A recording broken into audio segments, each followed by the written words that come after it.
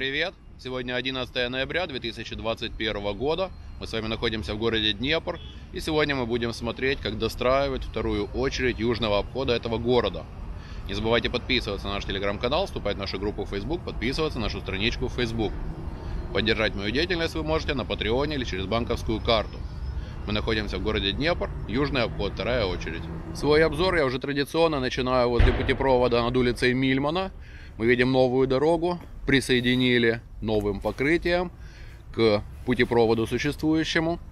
Сам путепровод, я уже вам рассказывал, находится на балансе у городских властей, поэтому, я думаю, в перспективе его будут обновлять, но когда и кто, такой информации нету. В настоящее время проезд по путепроводу перекрыт, некоторые пытаются прорываться, но потом возвращаются обратно. Далее дорога идет на Южный мост, и меня часто спрашивают, ну хорошо, вот пойдет поток машин, они переедут на левый берег, что дальше? Ну а дальше, я так думаю, будет начало третьей очереди строительства южного обхода. Я вам уже объяснял, почему вот этот кусочек, который сейчас достраивают, очень важен в общем проекте создания полного кольца. Ну, как вы понимаете, это не очень быстрый процесс, потому что надо подготовить документацию. Там, очевидно, будет много вопросов земельных с переселением каких-то людей куда-то, потому что там действительно очень слабенькие дорожки, много промзон, там, где я ездил. Я уже в прошлый раз сюда ехал как раз по этому пути. Немного посмотрел, что там. Но, тем не менее, существует уже достаточно давно проект полного кольца, поэтому ждем.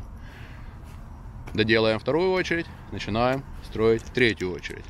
Теперь мы развернулись в противоположную сторону и видим, стоя на старом асфальтобетоне старого же путепровода, что от деформационного шва уже в направлении Запорожской трассы, в направлении Аэропортовской, начинается свежий финальный слой щема.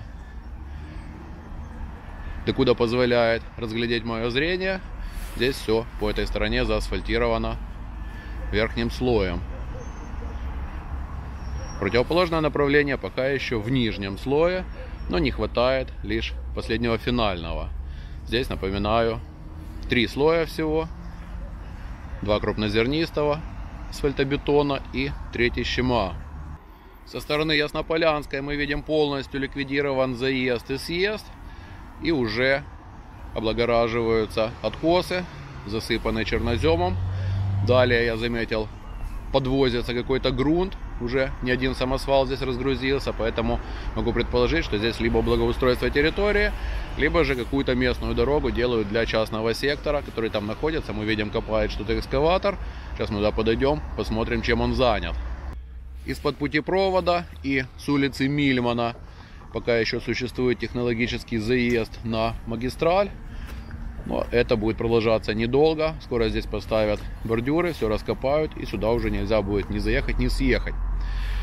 Многие в комментариях недоумевают, зачем так сделано. Честно говоря, мне тоже не совсем понятно это решение. Но я вам передаю со слов, как мне это объяснили ребята-дорожники. Здесь есть идея сделать именно транзитный проезд, для того, чтобы транзит не пытался съехать в город, ну а, соответственно, городские автомобили не пытались загружать транзитную трассу, то есть разделить потоки максимально. Ну, насколько это решение правильное или нет, покажет только время. Я вам уже рассказывал в предыдущих выпусках, что здесь сооружается новая дорога для местного проезда. По ней можно будет попасть на улочки частного сектора и также доехать до гаражного кооператива. Сейчас мы видим прогресс уже насыпали подушку такую мощную. Очевидно, скоро будет асфальтировать. Также по последним данным, здесь формируется грунтовый откос. Изначально меня, видимо, неправильно сориентировали. А может быть, что-то поменялось в проекте. Но когда-то я вам рассказывал, что здесь планировалась подпорная стена. Далее выяснилось, что подпорная стена будет только там, где нельзя сделать полноценный откос насыпи. То есть дальше, вот она там заканчивается, где экскаватор работает. Далее будет обычный откос, засеянный травой. Ну, мы здесь видим, как это делается. Напоминаю, в прошлый раз, когда мы здесь были, тут еще по этой стороне только-только подушку укладывали и делалось местное грунтозамещение. После дождей здесь размокла небольшая часть подушки новой. Ну, все это ликвидировали. И, как видим, уже ребята из автомагистрали Пивдень, которая здесь является генподрядчиком и исполнителем, ну, наверное, 99% работ, все закончили, почти закончили у нас на глазах. Как видим, здесь еще осталось достаточно косметических работ. Много откосов засыпать черноземом. Вот такие вот полосы разделители засыпать грунтом, засадить травкой. Но я думаю, это не помешает к Новому году, как и обещали, открыть техническое движение. Надо сказать, что сейчас формально движение здесь перекрыто, но тем не менее откуда-то постоянно едут машины оттуда. Также и туда заезжают, то есть люди, они не смотрят на ограничения, как-то просачиваются. Я подошел к месту работы экскаватора, пообщался с оператором. Все-таки он мне уточнил, это не дорога будет, а водосточная система. Ну что это будет за водосточная система, он не знает. Может быть, здесь будут какие-то трубы прокладываться, а может просто бетонироваться или укладываться готовые железобетонные лотки. Но сам факт, что это все для слива воды с трассы и, я так понимаю, слива воды с окружающих холмов. Мы знаем, что там когда-то тек ручей, потом его перекинули на противоположную сторону. Ну вот, теперь какие-то дополнительные мероприятия в этом направлении мы видим проводятся. Давайте проедем немного по новой дороге. И на повороте сделаем наш облет. Это будет для нас непривычное место. Обычно мы его делали с краю. Но теперь можно с комфортом добраться туда, куда надо. Видите, с левой стороны еще не засыпали пространство между насыпью и подпорной стеной. Также на повороте идет бетонирование водосливов.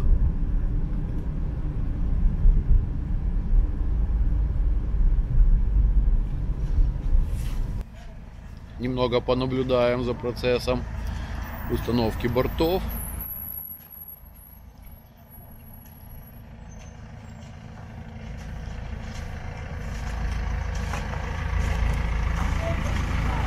Как видим, все камни выставлены в одну линию, все очень четко, красиво. И теперь ребята делают подушку под ними и вокруг.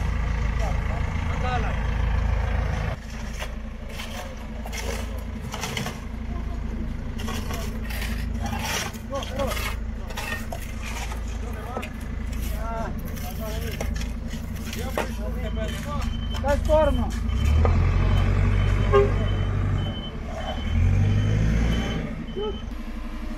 Видим приготовленная опалубка. Здесь нужен специальный бортик вдоль всего борта из бетона. Потому что видите какой перепад. Потом это все будет засыпаться грунтом.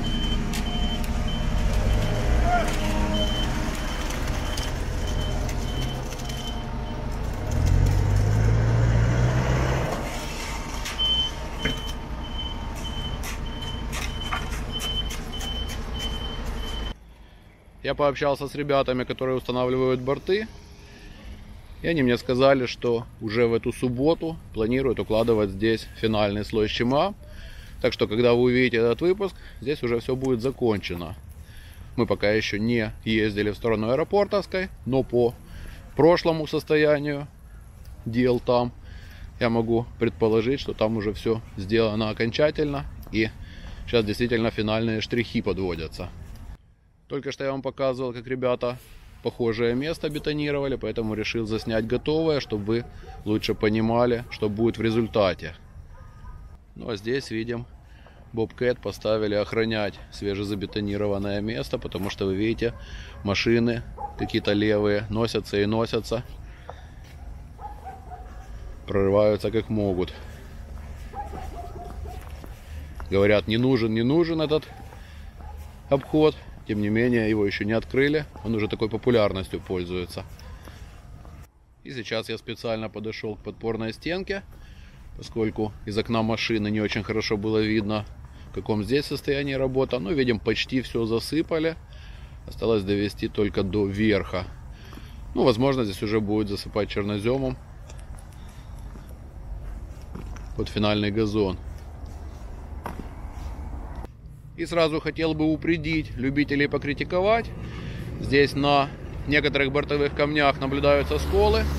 Все-таки вы должны понимать, что это не натуральный камень, не гранит, не базальт, а железобетонный борт.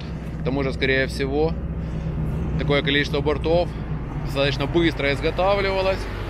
И, может быть, когда они куда-то грузились, то еще полностью не набрали своей прочности. Ну, вы знаете, что бетон он набирает прочность всю жизнь, поэтому я думаю, что это небольшая проблема. Но на всякий случай я уточнил у ребят, и мне сказали, что после того, как все будет закончено, все эти борта будут шпаклеваться, все неровности будут и стыки замазываться ремонтными составами, которые вы уже знаете, после чего все будет краситься для защиты от воздействия окружающей среды. Поэтому можете мне не присылать и не писать в комментариях вот про такие места. Это все будет убрано. Ну, если вдруг так случится, что где-то что-то не уберут, то можете мне через полгодика-годик написать, что вот оставили такое место. Тогда мы будем узнавать о причинах. Но пока на сегодняшний день причин для паники нету. Все это будет ликвидировано и красиво оформлено. На другой стороне дороги мы видим уже оформлен откос. Но пока еще, очевидно, тоже что-то будет. Может быть, даже какие-то будут здесь дорожки пешеходные. Может быть, не будет. Пока информации у меня нету. Смотрим, в каком оно виде сейчас находится.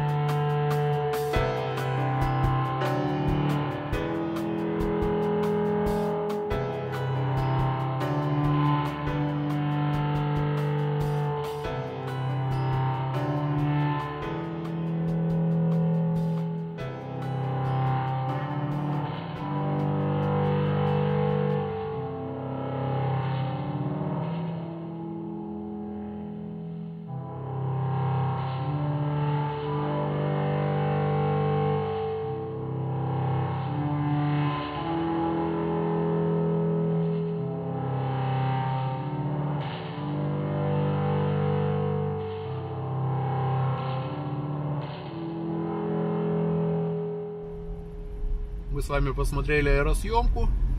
Как видим, с воздуха все не менее красиво выглядит, чем с земли. И также, я думаю, вы обратили внимание на то, что вдоль всей дороги, куда мы смогли долететь, идут работы. Бетонируются водосливы, устанавливаются борта. Вот этот кусочек, по которому мы сейчас едем, я думаю, вы тоже увидели границу асфальта. Вот это единственное, что осталось не заасфальтированное. Причем мне даже еще по ходу дела подтвердили, что может быть суббота, а может быть даже в пятницу, то есть завтра будет асфальтирование. Ну, я думаю, что все успеют. Сейчас я намеренно остановился, чтобы показать вам единственный законный съезд-заезд технологический на эту дорогу. Вот здесь он будет. Ну, пока, я не знаю, он упирается в гаражи. Будет ли куда-то там еще путь. Информации у меня нету. Кто здесь местный, те я думаю, знают, куда эта дорога будет вести. Я уже рассказывал, что технологический съезд он по-любому должен быть на случай каких-то нештатных ситуаций. Но в целом мне еще раз подтвердили, что здесь постарались намеренно ликвидировать все съезды и заезды для того, чтобы на скоростную магистраль не выскакивали с города неожиданно машины. Хотя я думаю, что все можно было бы сделать с полосами разгона торможения, но такое решение приняли. И здесь мы видим уже для завтрашнего или послезавтрашнего асфальтирования стоит череда техники. Пользуясь случаем, я поинтересовался у ребят из автомагистрали Пивдень, что же там копает внизу экскаватор, там где мы видели траншею. Оказалось, там никакой трубы не будет, а будет именно бетонироваться лоток, такая вот водосточная канава, которая будет потом отводиться в общегородской коллектор. Также я вам рассказывал, вы помните, что должны бетонироваться канавы сверху откосов, для того, чтобы с возвышенности не стекала вода к дороге. И особенно это актуально для вот той большой дальней возвышенности, где вы видите стоят лепы и высота откосов там до 20 метров доходит. Ну, сказали мне, что пока эти работы там еще не проводились, когда откроют движение, ну, может быть, параллельно этому процесс начнется тоже. Здесь мы видим, засыпают полосу разделительную.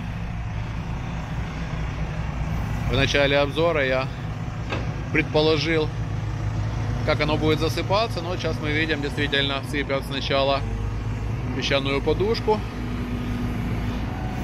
и практически сразу за песком засыпают черноземом.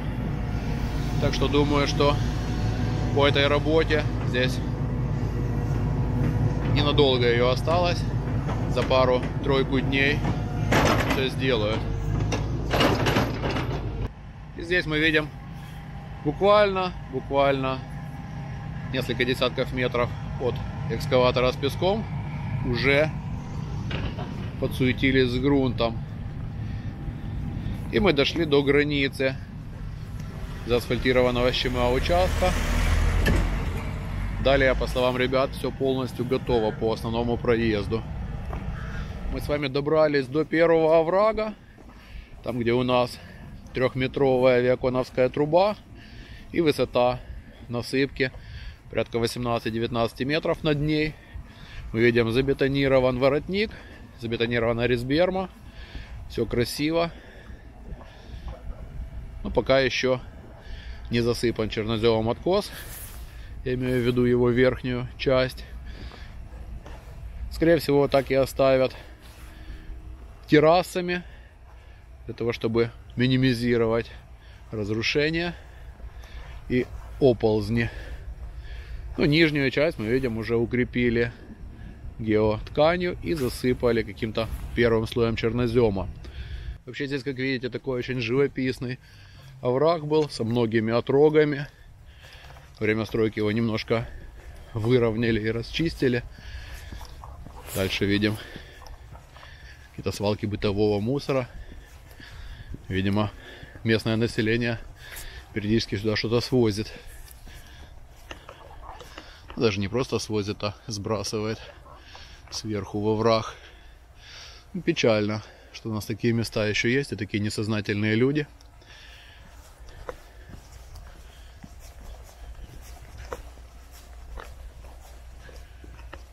Сверху еще одна свалка. Потом жалуемся, что у нас в стране жить плохо. Сами же такое делаем. Ну, это так, лирическое отступление. Собственно, я спускаюсь для того, чтобы пройти по водопропускнику. Посмотреть, что с другой стороны сделали. Что интересно, везде сверху сухо, а во враге слякоть грязь. И лежит иней на стороне, куда не попадает солнце. При ближайшем рассмотрении мы видим, что ребята здесь не только воротник делали, но и армированную лотковую плиту для того, чтобы вода, когда будет нести какой-то мусор с собой, не оставляла его на вот этих волнах.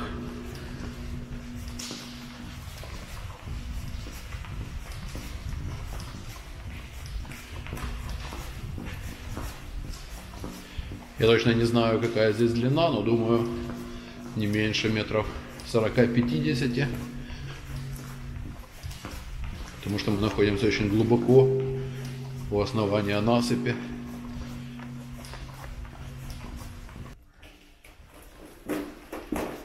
Ну и здесь мы видим резберму забетонировали еще шире, еще длиннее. Напоминаю, что резберма это вот эта площадка на выходе из водопропускника, которая не дает воде потоком подмывать основание. Чуть было не упустил прокомментировать для вас одну важную вещь. Вы видите вот эти две машины, похожие на асфальтоукладчики, но с транспортерами, как у фрезы. Это перегружатели асфальта Фёгеле МТ-3002 Offset. Я такую машину при огромном числе своих обзоров на самых разных дорогах видел всего лишь один раз на Закарпатье возле Буштино. Компания Шибу 77 делала там дорогу, тоже укладывала щема. И вот такая машина там присутствовала. Я Сразу же тогда еще погуглил. Оказывается, у нее есть подогрев транспортера и вроде бы даже подогрев бака. Это очень важно, потому что в перегружателе асфальта там как бы термос, который не дает остывать асфальту, но также там перемешивание. Оно для гомогенизации материала, после чего по транспортеру асфальт подается в специальные баки, установленные на асфальтоукладчиках. Мы видим здесь два асфальтоукладчика, оснащенные такими баками. Понятно, что когда просто термос, это хорошо, но лучше, когда есть подогрев, для того, чтобы асфальт не остывал, тогда он может храниться в этом перегружателе необходимое число времени, пока там надо маневры делать какие-то и прочее. Тем более, что один перегружатель может сразу же обслуживать несколько асфальтоукладчиков. Вообще считается, что сейчас положено асфальт любой укладывать с помощью, точнее не с помощью, а при участии перегружателя, но, к сожалению, техника дорогая и очень мало. Впервые мы увидели перегружатель шаттл-баги еще на Шулявском мосту компании STI, но там он без подогрева, там он американский. Ну, ребята его бэушным привезли, много с ним намучили, сейчас вроде бы постоянно его эксплуатируют. Все классно. Ну, а вот такие машины, это совсем новенькие. И, опять же, почему я вам их показываю? Потому что очень радует, что вот уже в автомагистрали Пивдень появилась такая техника. Это значит, в очередной раз не устаю повторять, что наши дорожно-строительные фирмы, мостовые фирмы обзаводятся техникой новой, развиваются. Движение в стране идет в правильном направлении. Давайте посмотрим на эти машины поближе.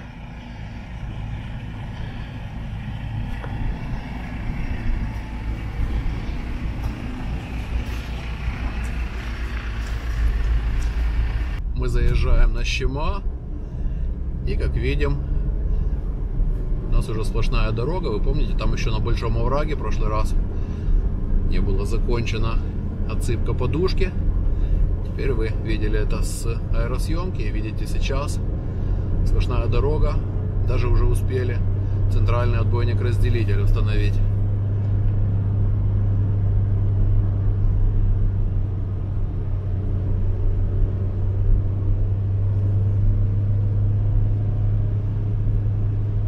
Насколько я вижу, здесь еще нету бортиков. Может быть, будут дорожные борта, может быть будут водоулавливающие лотки. Но что-то должно быть.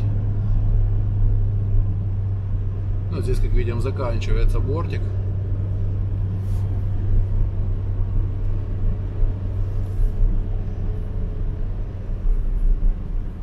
И сейчас мы над самой глубокой точкой оврага. Здесь мы видим, ребятам подвезли геосетку для укрепления откосов. Сейчас, судя по всему, они этим занимаются. Ну, пока с этой стороны давайте заглянем, что получилось.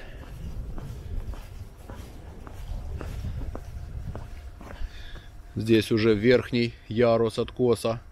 Сетка закреплена. В ближайшее время будет засыпать черноземом. Мне было интересно, что же она из себя представляет. Я на нее только издалека смотрел. Она такая объемная, как ячейки, такие волосистые.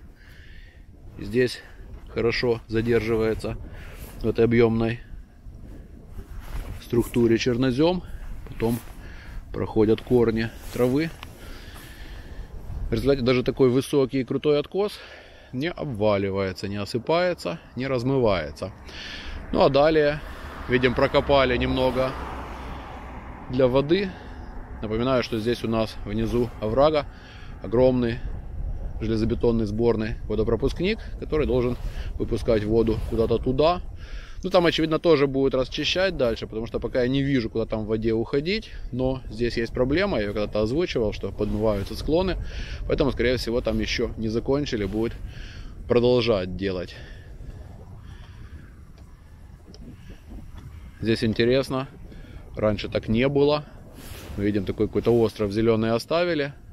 Вокруг него обошли дорогами. Ну, с чем это связано, непонятно. Может быть, будет просто делать сплошной газон увидим, если мы еще сюда приедем. Правда, здесь уже почти нечего обозревать, но я надеюсь, что мы еще сделаем один такой результирующий заключительный выпуск здесь. Посмотрим, что получилось в результате всего многолетнего труда, начиная с 2011 года и заканчивая 2021. Перейдя на другую сторону дороги, мы видим, что уже начали наносить разметку. Причем таким очень мощным рельефным пластиком.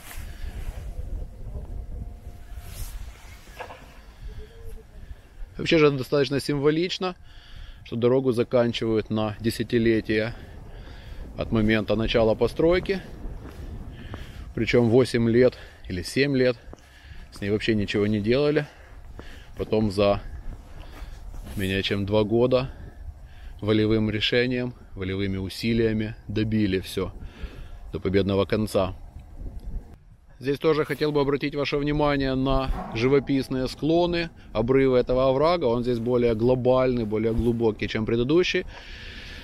Здесь до 30 метров доходит его глубина, там 26-28, я имею в виду до дороги. Ну а вокруг возвышаются еще более высокие склоны и много отрогов уходят в разные стороны.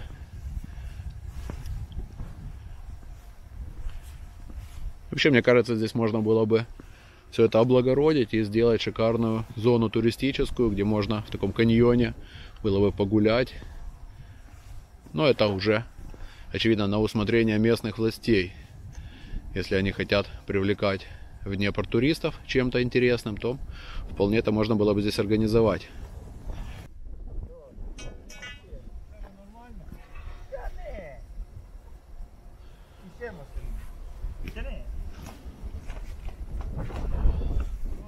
В очередной раз любуемся процессом укладывания ткани.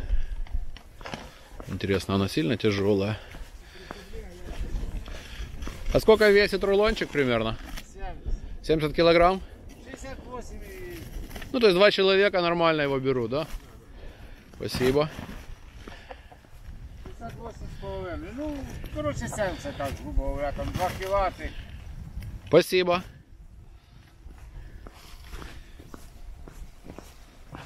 Ну да, на вид они кажутся такими более массивными, но вы видели, они такие воздушные на самом деле при ближайшем рассмотрении.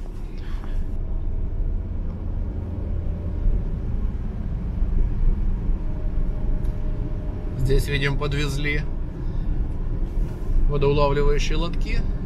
Значит, где-то они все-таки будут устанавливаться. И здесь уже появилось барьерное ограждение по краю. Также центральный отбойник-разделитель тоже двойным стал, потому что здесь идет вираж и разный уровень направлений дороги.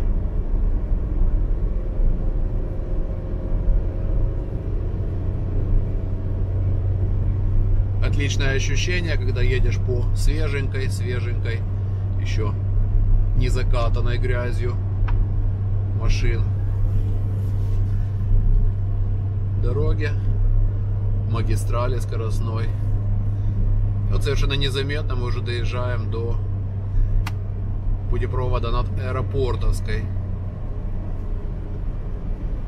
38-й пикет. Но, честно говоря, не знаю, откуда здесь начинается пикетаж. За путепроводом мы встречаем чудо-машинку, которая бьет стойки для отбойников ребята как раз размечают себе место. Я думаю, здесь уже нет необходимости нам летать, потому что с воздуха принципиально ничего здесь не поменялось. Относительно того, что мы уже видели в прошлом обзоре. Здесь уже почти все было закончено и тогда. Я думаю, когда приедем на результирующий обзор, то я здесь сделаю один сплошной облет для того, чтобы показать все в целом, что получилось. Пишите в комментариях, хотите вы такое увидеть или не хотите. Здесь мы видим уже полностью готовые откосы. Но я вам еще тогда говорил, их даже засеяли какой-то травкой. Или может быть это самосеянная трава, но она уже принялась и видим приятное зеленое все кругом. Здесь потихонечку база разъезжается. Уже практически ничего не осталось, только часть складированных лотков бордюрных камней и много-много-много сетки на откосы. Что я еще заметил с этой наблюдательной позиции нового, это то, что сейчас на примыкании съезда-заезда к аэропортовской, там где только что проехал грузовик, появились островки, два треугольника и центральная полоса. Таким образом мы видим, что есть заезд со стороны аэропортовской, есть прямой проезд на местную дорогу и есть выезд в сторону аэропорта. Они все разделены бордюром и зелеными островками. Сейчас я перешел на другую сторону, в сторону города Днепр. И мы видим на примыкании съезда-заезда противоположного то же самое три островка. Путепровод получился очень красивенный. Как видим, все работы, даже косметические по нему уже завершены. Все, что необходимо было построить, ребята из автомагистрали Пивдень своими собственными силами успешно сделали.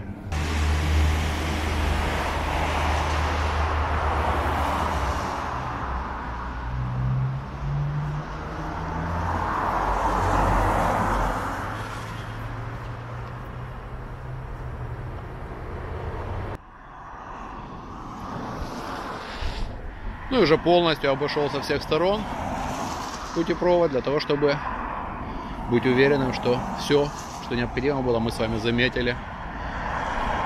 Я вам показал это. Здесь мы видим детеныш экскаватора Caterpillar роет траншею. Это прокладывают кабель для освещения. Здесь вся развязка будет освещена. Там видим, ребята уже занимаются, собственно, кабелем накрывают его защитной лентой предупредительной, для того, чтобы никому не пришло в голову что-то разрыть здесь. Я пока еще не вижу, где будет заканчиваться опоры освещения. По крайней мере, вот там я наблюдаю под них подпятники. И полностью съезды-заезды также будут освещены. Причем мы видим, и с одной стороны это делается, и с другой стороны. Ну, это, возможно, хорошо, потому что крутой поворот здесь очень, крутой вираж. Безопасность превыше всего.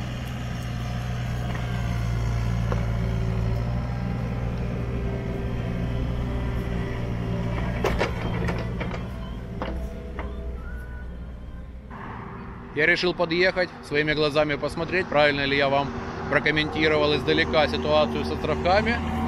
Действительно, здесь мы видим три островка. Как я сказал, съезд направо, заезд с левой стороны. И здесь целый двунаправленный прямой проезд. Очевидно, на ту дорогу. Но мне трудно сказать, с чем это связано. Может быть, здесь будет отбойник-разделитель стоять посреди заезда. И если собираются такой большой поток куда-то пускать, то, быть может, здесь поставят светофорное регулирование, но такой информации у меня нету, это лишь предположение, исходя из того, что я здесь вижу. Если кто-то может мне прокомментировать подробнее, что это, то буду рад услышать, прочитать ваши комментарии. Далее мы движемся к началу обхода. Смотрим, появился отбойник-разделитель, точнее два ограждения барьерных на центральной полосе. Видим разметку уже какую-то. Осевой пока нету. Ну, хотя здесь не совсем осевая, потому что это один поток. Ну, скажем так, разделение на полосы отсутствует. И видим барьерное ограждение с одной и с другой стороны по краям. Сейчас мы проезжаем над большим Виаконовским туннелем. Едем по Щема. Все заасфальтировано, свеже, не укатано еще. Мы поравнялись с мототрассой. Вы помните, в прошлый раз я вам показывал, как сооружали вот эту полосу уширения, для того, чтобы сделать заезд на мототрассу. И недалеко от этого места, буквально, наверное, метров 150 отсюда, закончилась щема по направлению будущему на Запорожскую трассу. Так что мне немножко более красиво рассказали ребята о том, что здесь уже все сделано. Но думаю, это не проблема. И в ближайшие дни это все закатается тоже щема. Просто пока эта работа еще не доделана. В то же время направление на Южный мост, по которому мы только что ехали, там, насколько позволяет глаз увидеть, все в щема.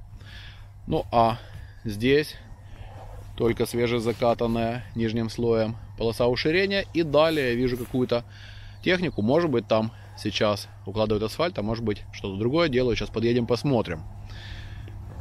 И здесь я вам тоже показывал, делали полосу уширения напротив мототрассы. Здесь уже все закатано. Для чего она пока не могу вам сказать. Может быть для того, чтобы машины люди оставляли. Те, кто приезжают на соревнования.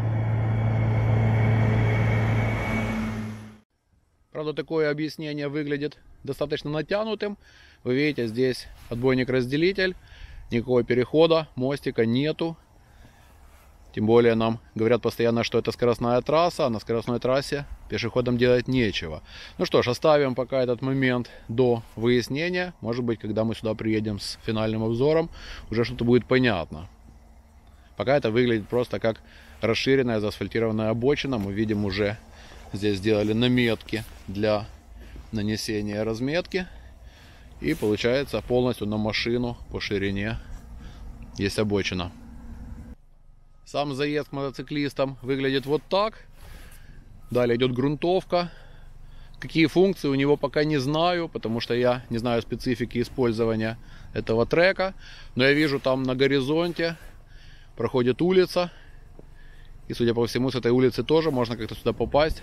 Если знаете, можете мне написать в комментариях. Возможно, чисто технический такой заезд для чего-то. Вообще же мы видим, с правой стороны лежат готовые к установке бортовые камни. Поэтому, скорее всего, ничего асфальтировать не будут, пока их не установят.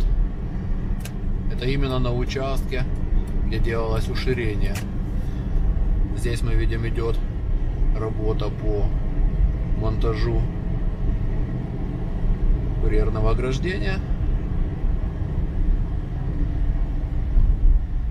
Ага, здесь у нас что-то интересное. Похоже, было какое-то замокание. Сейчас узнаем, ребята здесь присутствуют. Пообщался с ребятами, они мне подтвердили. Действительно, здесь было обнаружено замокание грунта и проседание асфальта. Как видим, стройки, которые долгое время стояли недостроенными, часто преподносят сюрпризы. Похожий сюрприз ребята из автомагистрали Пивдень подкарауливал недалеко от будущего путепровода, пока он еще не был построен. Я вам рассказывал, там насыпь вообще стояла не покрытая, она размокла, и когда зашли туда, чтобы что-то делать, оказалось, что грунт проседает, расползается. Здесь все было чуть-чуть лучше. Здесь, вы помните, мы неоднократно ездили, был асфальт, но уже когда сюда хотели подойти щема финальным, геодезисты обнаружили здесь незначительное проседание грунта. Сделали пробы, какие-то там забурки и обнаружили, что насыпь здесь тоже стояла, замокала, после чего ее предыдущие компании, которые здесь асфальтировали, я не знаю, что это были за фирмы, в каких годах это делалось, но вы помните, здесь асфальт достаточно давно стоял, и вот какой вывод сделали представители лаборатории после того, как здесь все это проанализировали, что, скорее всего, на замокший грунт был положен асфальт. Когда здесь не было движения, оно все более-менее стояло. Когда сюда начала ездить техника строительная, то асфальт пополз вместе с насыпью. Поэтому сейчас здесь такая незапланированная работа. Ребята из автомагистрали выбрали достаточно большое корыто. И, как видим, Заново делают послойное уплотнение с геосеткой. Сейчас ЩПС разравнивают. В общем, все это надо теперь заполнить обратно. До этого нельзя асфальтировать, как вы понимаете. Да, тут ребятам можно только посочувствовать, потому что уже, можно сказать, на носу открытия движения. И когда такие сюрпризы вылазят, то это всегда неприятно. Но, как видим, все успешно борется.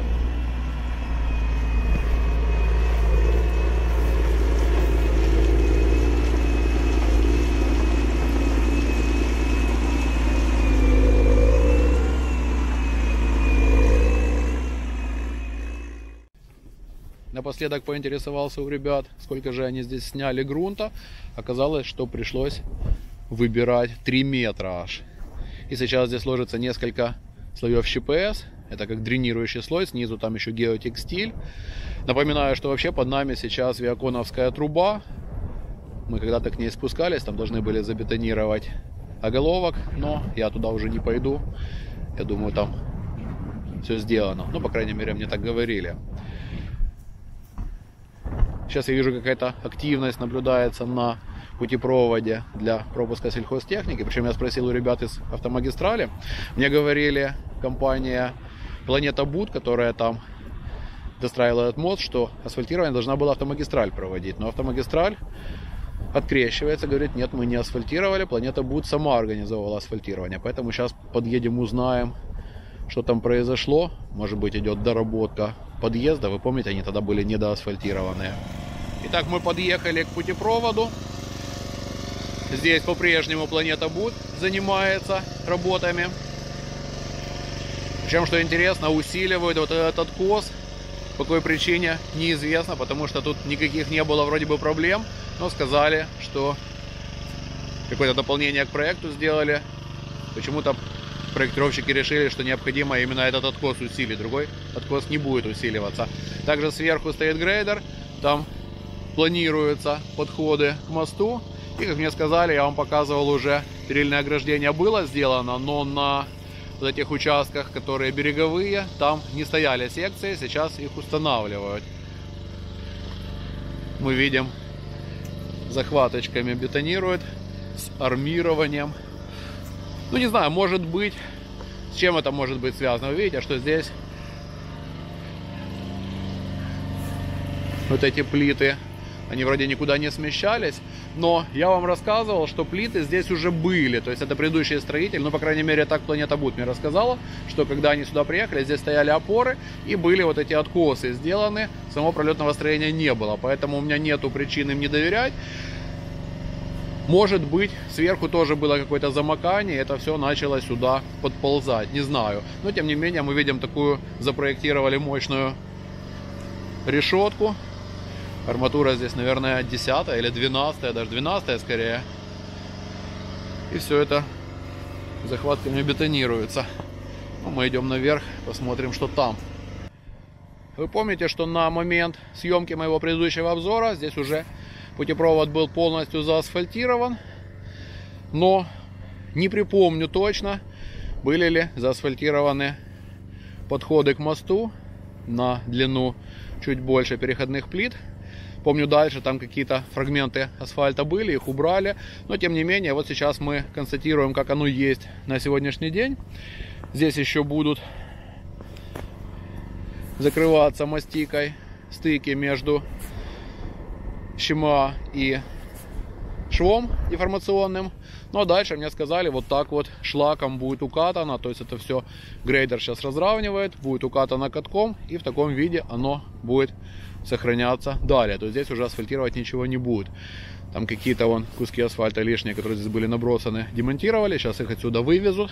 И мост будет считаться завершенным. И ребята из Планеты Буд мне подтвердили, что они сюда сами привозили субподрядчиков своих, которые асфальтные работы здесь проводили. Почему так, не знаю, потому что мне изначально говорили, что будет автомагистраль все здесь делать, но переигралось. Ну и наконец мы видим, что все направление с Запорожской трассы на Южный мост заасфальтировано финальным слоем щема до самого съезда с трассы. Трасса Н08 проходит, вы видите, на горизонте. Налево идет путь на Запорожье, направо в Днепр. Это тоже часть Н08. Здесь Н08 вокруг Днепра очень много, как оказалось теперь. Есть Н08, который идет в город, есть Н08, которая пойдет на Южный мост, и есть еще Н08, которая идет на аэропорт, она же улица Аэропортовская. Там дальше съезды-заезды, насколько я помню, были еще в предыдущие годы строительства асфальтированные щема. Там я всегда, когда выезжал или съезжал, заскакивал, соскакивал на дополнительный слой. Ну а здесь я уже прокомментировал вам. Скоро будет асфальтировать после того, как установят борта и закончат грунтозамещение, делать и подушку, там, где мы с вами только что были. На этом я завершаю свой обзор. Благодарю вас за внимание, за ваш интерес к моему каналу, к стройкам Киева и Украины. Огромное спасибо моим уважаемым зрителям-донаторам за поддержку. Благодарю пресс-службу Крафтодора, которая помогает нам организовывать наши поездки, и службу автомобильных дорог в Днепропетровской области. Большое спасибо нашим дорожникам, мостовикам, метростроителям, строителям, всем, кто радует нас своими трудовыми успехами. Большое спасибо всем вам, кто смотрит меня с подпиской, делится ссылками на мои видео в соцсетях, оставляет мне лайки и комментарии. Если еще не подписан на мой канал, самое время это сделать. Жмите колокольчик, ставьте лайк этому видео, подписывайтесь на телеграм-канал, вступайте в группу Facebook, подписывайтесь на страничку Facebook. Поддержать мою деятельность вы можете на Патреоне или через банковскую карту. Все реквизиты даны в описании под видео. На этом я с вами прощаюсь. До новых встреч, до новых обзоров. Мира, счастья, любви, здоровья, добра. Пока.